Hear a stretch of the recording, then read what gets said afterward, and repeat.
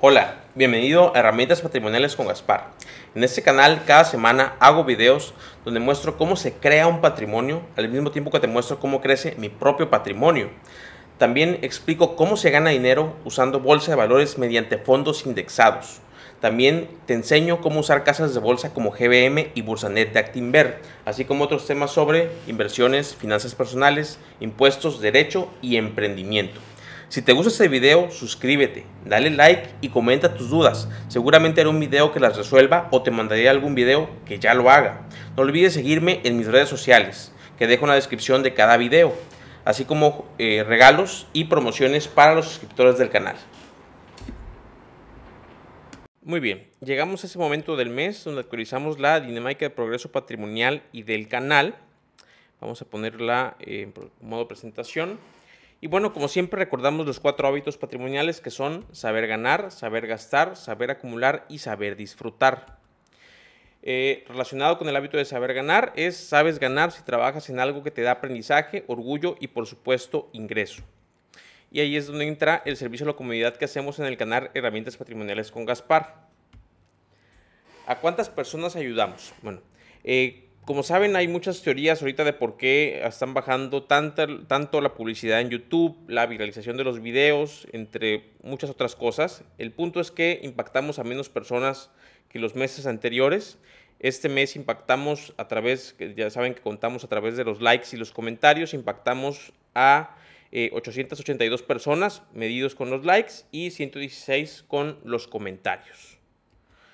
El porcentaje de crecimiento del canal es de, fue del 3% este mes, con cuatro videos. Los suscriptores del canal llegaron a 14.088.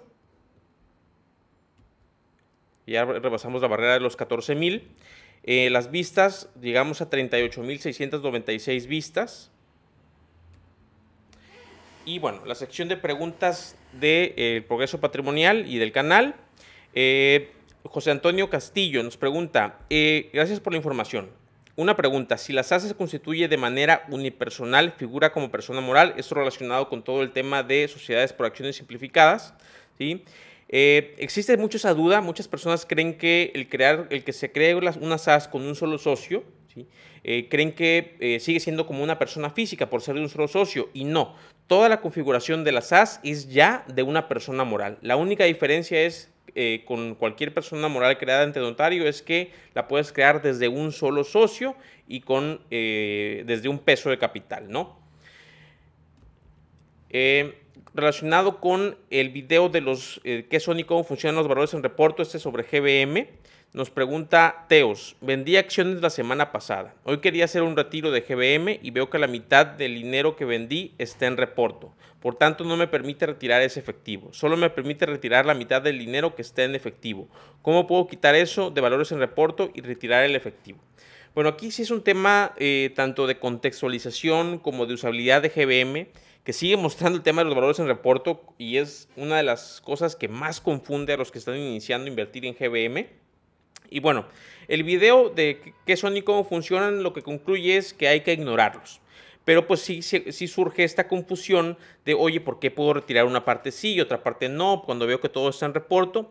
Y bueno, recordemos que cuando vendemos una acción en GBM, ¿sí?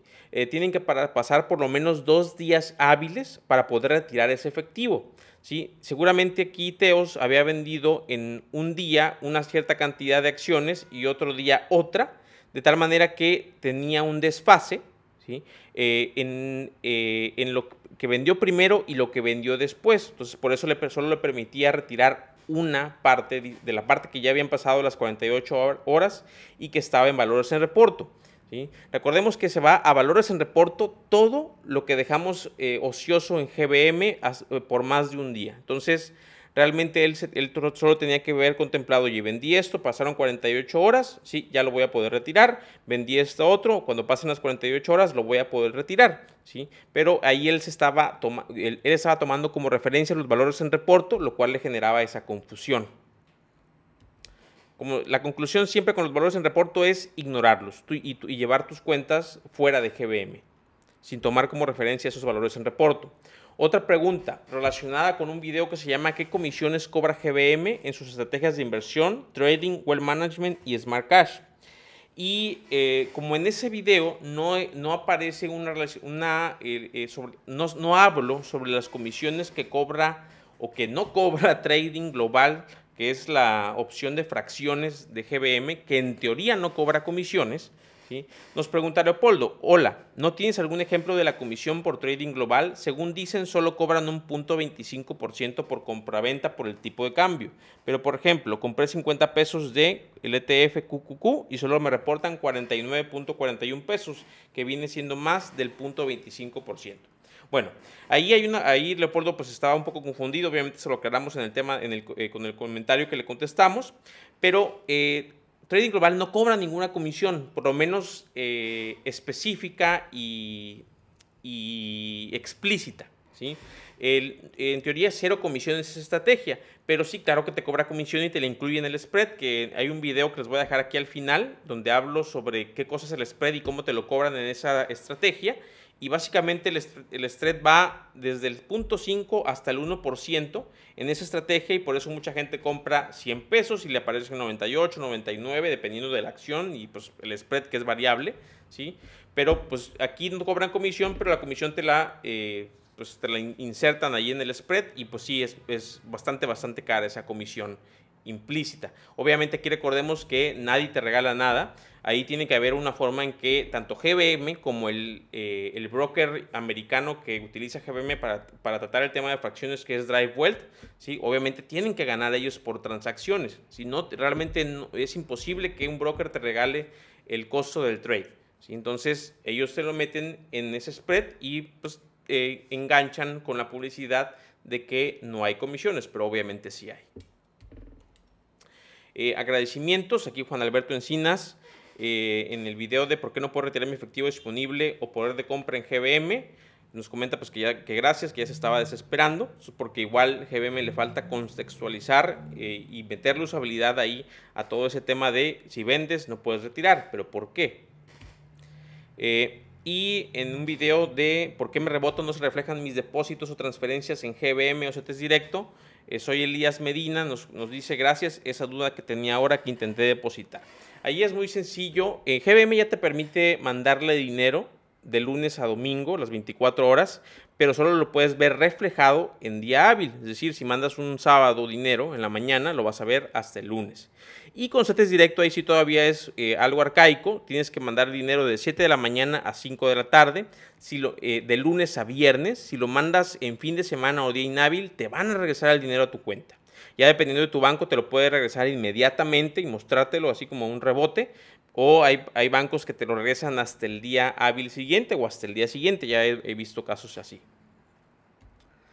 Ok, las métricas de patrimonio relacionado con el hábito de saber gastar. Muy bien, los ingresos de este mes. Este mes tuvimos eh, 15.400 pesos en ingresos. 7.000 vienen de una inversión eh, donde recibimos algo similar a un dividendo. Eh, mensual, más bien es el rendimiento mensual que estoy recibiendo de esa inversión ya de hace mucho tiempo. 2.400 de, eh, por ingresos de YouTube ¿sí? y 6.000 por los servicios que ya prestamos como despacho, tanto fiscal como contable. Entonces ahí cuando quieran consultar servicios que prestamos, que presto como despacho, pueden ingresar a la página que es gasparcórdoba.com, los pueden revisar. Eh, el destino de los ingresos, esos ingresos los mandamos este mes eh, 2.000 a pago de deuda y el resto a costo de vida. No pudimos mandar nada de inversión, incluso retiramos eh, una parte de las inversiones para cubrir un gasto ahí, eh, digamos, emergente. Entonces ahorita lo vamos a mostrar. aquí viene el abono de deuda que fue al crédito vehicular que mantenemos. Y relacionado con el hábito de saber acumular, pues el progreso de los activos, que es donde aquí incluí eh, una cantidad negativa por menos 10.300, donde vendí un título de VO y tuve que retirar para cubrir un gasto emergente. Eh, y, eh, oye, pero, pero un título de VO no cuesta ahorita 10 mil pesos, andan por ahí de los 7 mil. ¿Qué pasó? Eh, pues obviamente en la bolsa tuvimos caídas, ¿sí? Y eh, de hecho el título de VO pues lo tuvimos que vender a un precio no tan bueno, no pasa nada, es, es, algo común. Eh, aquí la idea es, como siempre, invertir algo que sabemos que nos podamos deshacer por lo menos cinco años o más. ¿sí? aunque lo ideal es largo plazo, es tener esos títulos para siempre.